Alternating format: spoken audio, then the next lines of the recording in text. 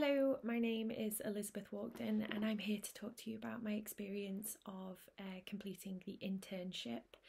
Um, firstly, I'd like to say a huge thank you to um, my team, the speech and language therapy team, and the ICU teams um, at Wythenshawe Hospital for supporting me to um, complete this internship and giving me the time and space to do so. I'd also like to um, thank the ARC GM team um, for all of their support through this and constantly replying to emails and everything else that they do. Um, and especially Jill Norman, who is my supervisor and has been incredibly supportive through um, the whole process. So, um, firstly, I'd like to talk to you a bit about my background. I am a speech and language therapist and I've worked in various areas um, of clinical practice, such as neuro rehab, stroke, acute, and critical care. And I've worked across different places in the country Gloucestershire, London, and uh, I've settled in Manchester, where I'm from. So, uh, in my job at Wythenshawe Hospital, I specialise in ICU, um, rehab, uh, and in particular, I have a special interest in cardiothoracic, ICU, rehab, and in particular, transplants, so heart and lung um, transplants. Therefore, my research question is around the impact of cardiothoracic surgery on swallow function in adults post operatively. Um, and that's what all of my project work was around for this internship.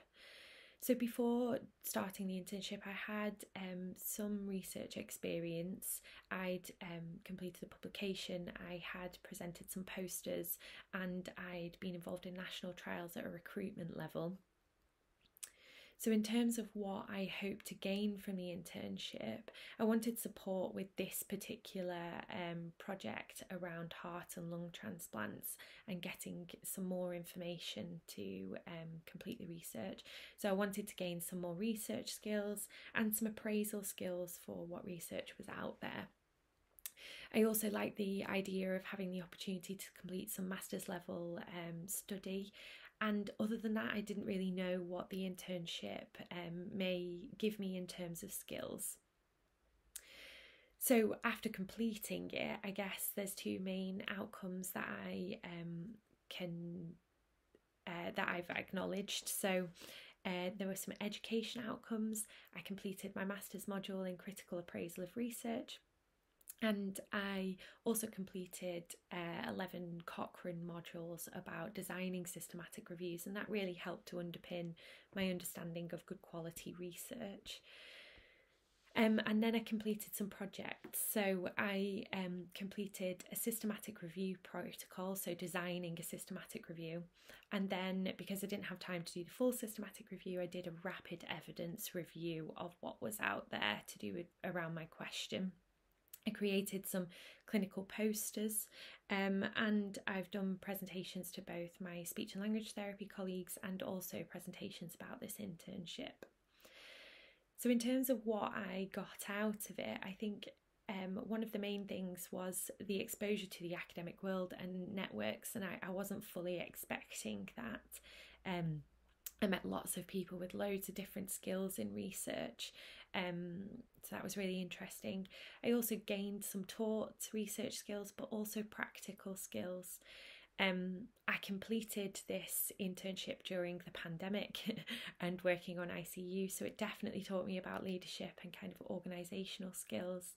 Uh, it gave me some really nice appraisal skills for better understanding kind of research, and it gave me the space and confidence for completing self directed study um, and some tangible kind of achievements that um, relevant to my job and to my career.